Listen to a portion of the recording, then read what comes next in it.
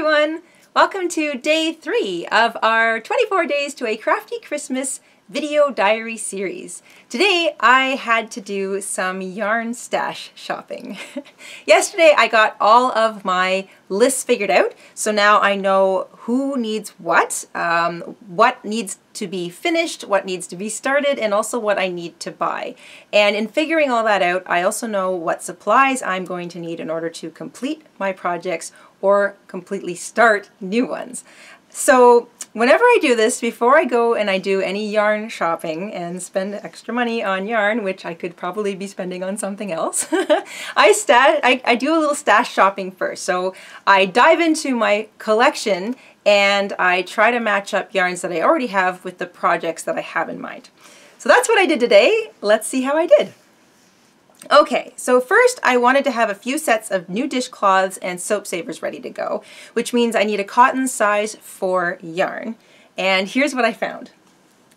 So I've got a variegated, nice Christmassy color variegated yarn. It's very uh, festive looking. It's 100% cotton and it's an old ball. I obviously picked this up on sale probably at a Christmas clearance uh, a long time ago. I only paid 74 cents Canadian for it. I don't remember the last time I paid 74 cents Canadian for anything. so this is probably pretty old, but it's still in perfect condition and it's cotton and it's in Christmas colors. So I'm going to start by making a couple of uh, dishcloths and maybe a matching soap saver in that, and that'll look really nice and Christmassy.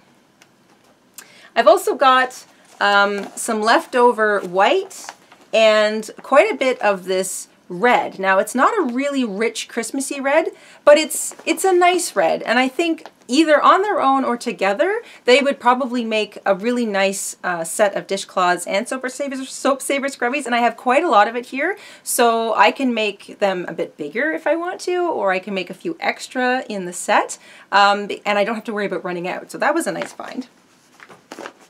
And then I have this other stuff that we used back in the summer and I completely forgot we had it. It's sort of a cotton, it's 100% cotton. It's a scrubby, so it's half regular worsted weight and it's half scrubby.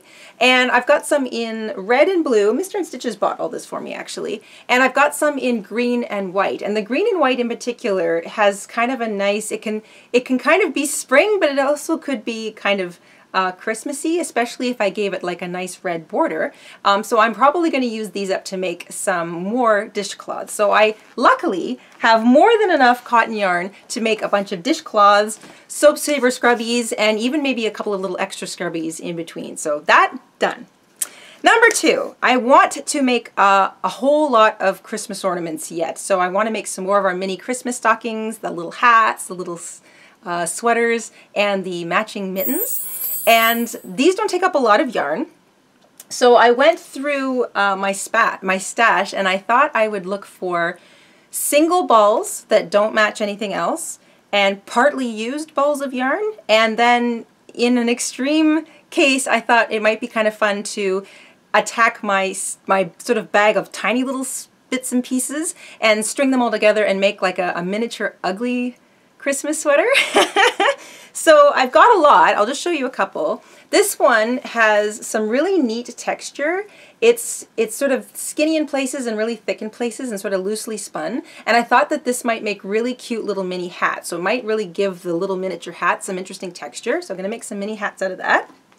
I've got um, leftover self-striping yarn in some really dramatic colors. There's sort of purple and gray and black in here, and I thought that that would really be pretty for a little hat um, and matching mittens. I probably have enough to make a pair of those.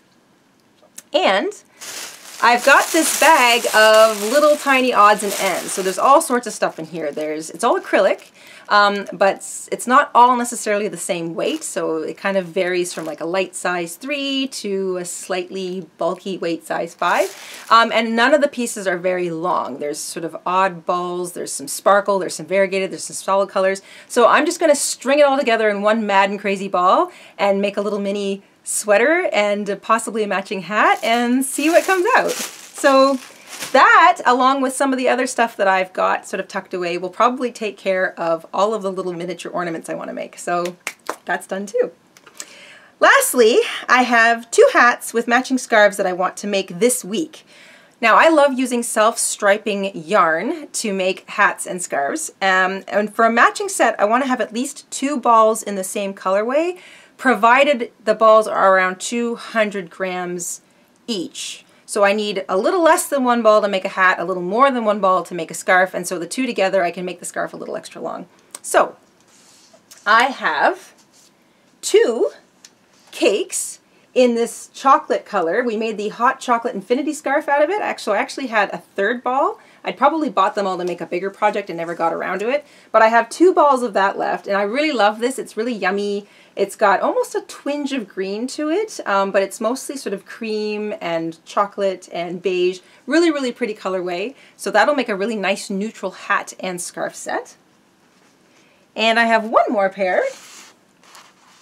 Uh, this is another pot, uh, pop, a Bernat pop, so a couple more cakes.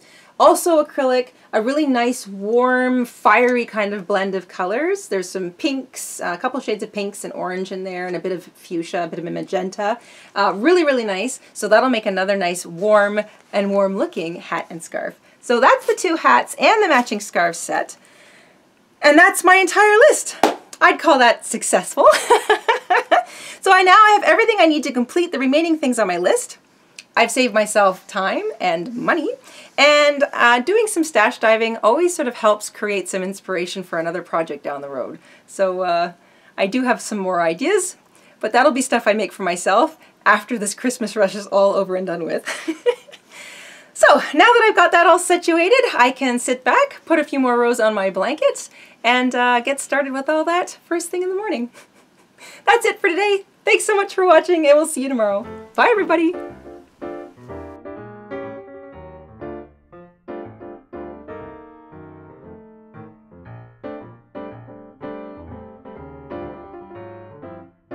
Hello everyone! This is Mr. InStitches. Thanks for watching today's Christmas video diary. Here are some other videos you might be interested in. Just click on one to watch it. Have a wonderful day and stay crafty.